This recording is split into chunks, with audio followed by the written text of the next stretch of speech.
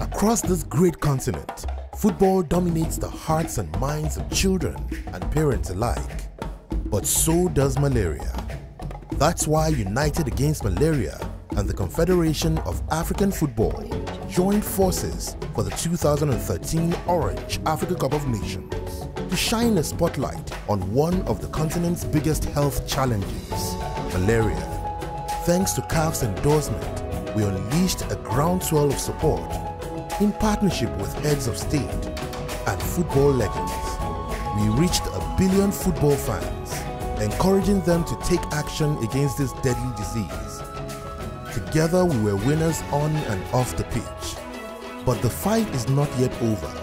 Every minute, a child still dies from malaria by sleeping under insecticide treated mosquito nets and going to the clinic at the first signs of fever.